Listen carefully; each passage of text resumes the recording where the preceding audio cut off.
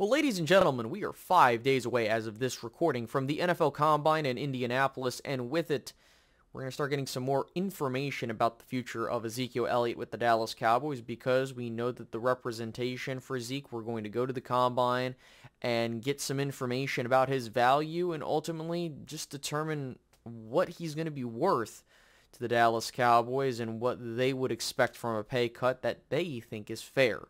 So with that being said, we're going to look at where Zeke is at currently, his contract, and some pay cuts that have already taken place, and, you know, where his value really resides at the end of the day.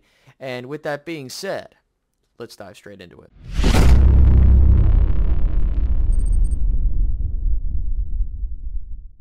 Now, before we get started, guys, if you can hit the like button, that'd be greatly appreciated. Subscribe if you're new. Hit that notification bell as well. And if you want to support the channel further, think about hitting the join button and becoming a media member today. Now, with that said, we know for the longest time, ever since we lost to the 49ers in the playoffs, that this was going to end up being the moment where we get a little bit more information in the next couple of days.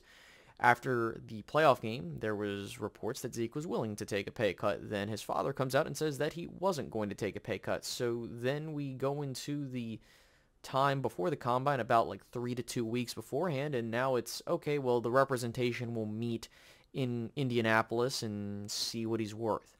Now, the biggest story that's come out of this entire situation in the past week or two is that we've been hearing from multiple sources that the NFL community, that being executives, analysts, or anybody that's from another team, granted they're anonymous, there isn't anybody that said anything with who they are and where they're from, say that Zeke doesn't have much left in the tank and that he's really a short yardage specialist and not really worth anything other than the vet minimum.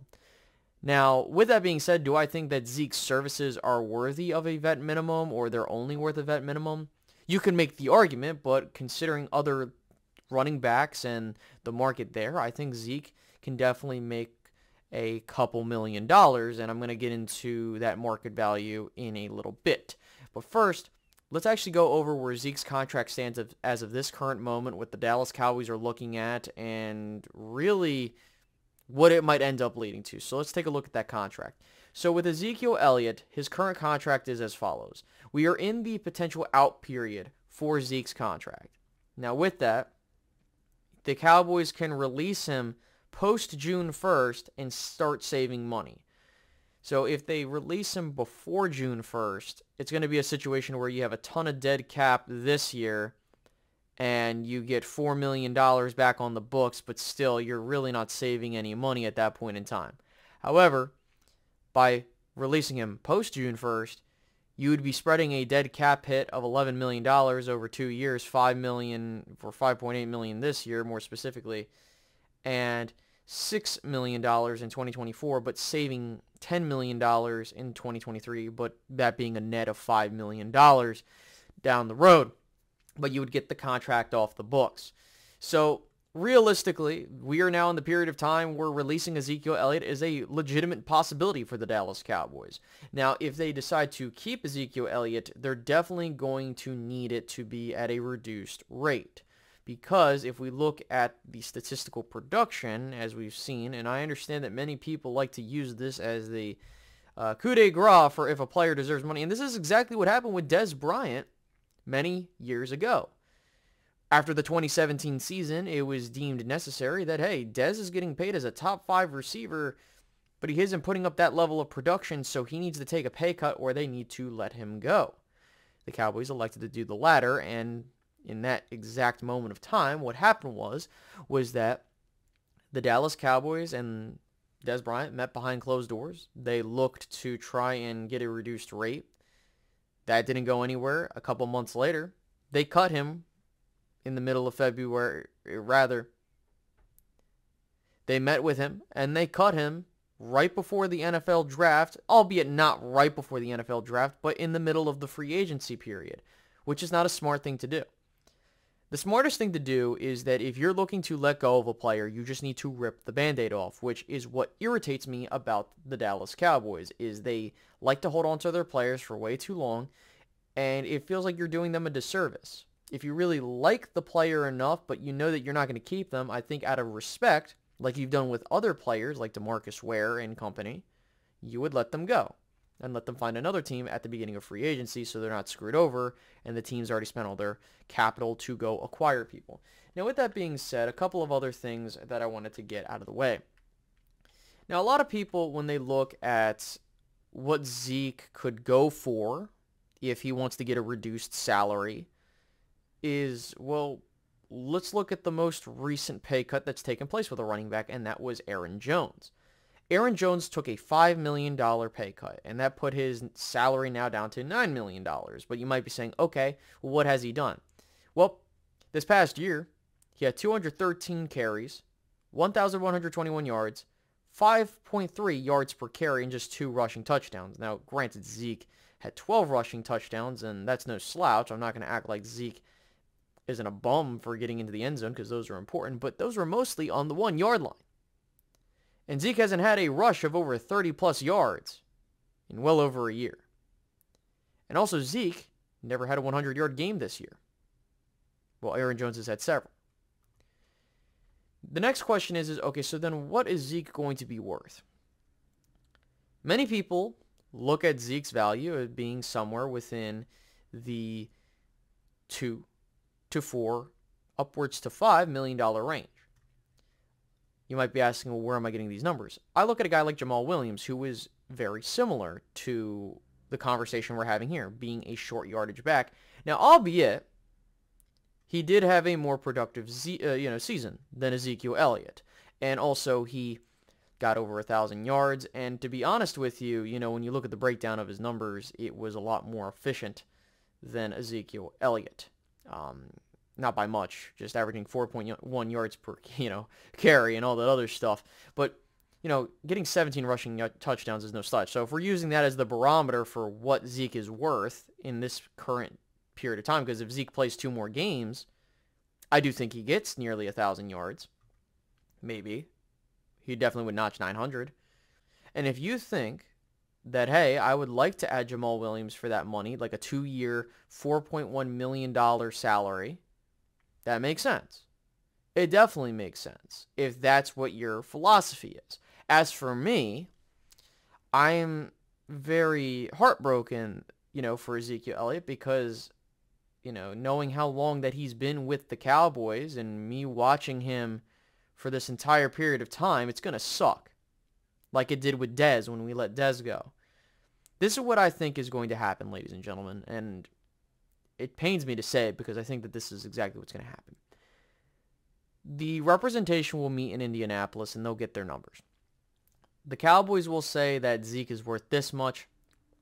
The representation will say either yes or no to that. Odds are they'll say no because the Cowboys will probably look for a significant pay cut. But this is all up to Ezekiel Elliott and what he wants to do. If he truly wants to be a Cowboy for life, then he's going to take the pay cut. But I understand that this is a business. And I've said in the past that the Dallas Cowboys have not shown to incentivize players to take pay cuts, regardless of the situation. You know, they don't spend the money. They just sit on their ass and do nothing. Now, with Tony Pollard being factored into this equation, as I left him out because I wanted to wait until this, if the Cowboys, which they're planning on doing, ultimately franchise tag Tony Pollard, which they probably will depending on when that takes place, whether it be during this recording or not. Then the question is, is okay, is Zeke okay with being the backup? Which I can't speak for that, and I don't know. I do know that Zeke loves it here in Dallas, and we need to realize that he is not the guy that he once was at the beginning of his career. And this is just what happens with running backs. He was smart to get paid when he did because the Cowboys were most likely going to run him into the ground. And after the 2019 season, he has had a very pedestrian career to this point. But let's not act like he is a scrub. He is the youngest and fastest individual to get to 10,000 all-purpose scrimmage yards. That is definitely worth something. He has a total of 80 touchdowns and I guarantee you, with how young he is, if he continues to play in the league and average about 5 to 800 rushing yards, he will eclipse 10,000 rushing yards. He will definitely be in that category. But with, uh, uh, you know, an all-pro to his name, three Pro Bowls, is that enough to get him into the Hall of Fame? Because that's what some people are asking. And why am I having this conversation? Because I fully believe that Ezekiel Elliott will be gone. The Dallas Cowboys are doing what I would expect them to do. Wait, wait, wait, and then eventually just be like, all right, guys, time to call it quits. Stephen Jones talked about his money in the offseason. And I hate it because, you know, they like to talk highly about Zeke, but here we are now. So with that being said, guys, I think if Zeke wants to remain on this team, whether you want him on here or not, I think that the number that they're probably going to throw at him is around three to five million dollars. If he says no, he will be gone, and I have a, a very big hunch that he will not be on the team in 2023. And you know, I've said they need to revamp the running back room. But you need to be understanding of your situation. If you feel like Zeke is going to be your short yardage back and he's going to be good at doing that, and you bring Pollard back, to me, there's no purpose of paying your running backs, you know, that much money. Putting $15 million into a running back room is absurd. I would say at most you should be putting between three to six, depending on the player or players that you have. But the Cowboys have this ass backwards, like I've said numerous times. In my ideal world, if I know how the Cowboys operate, you just start fresh, go into the draft, get some guys, and roll from there. With what the Cowboys might do, the Cowboys will most likely tag Pollard, get Zeke out of here, and draft a guy. Or there's the possibility that they bring Zeke back on a cheaper contract. But if it were me, I think, to be real with you guys, rip the band-aid and start over. Um, that's just kind of where I'm at. We don't need to be spending this kind of, uh, you know, capital towards the running back position. We have other positions of need that we can throw money at. And I feel as if the Dallas Cowboys just sitting on their ass doing nothing is not accomplishing anything. We're starting to see teams release players. And will Zeke follow suit in that? We will see. But that's kind of where we stand right now, guys. So with that being said, I do hope you enjoyed this video. Please make sure to like, subscribe, and hit the notification bell. This is Space Cowboy Media signing off. Have a good one.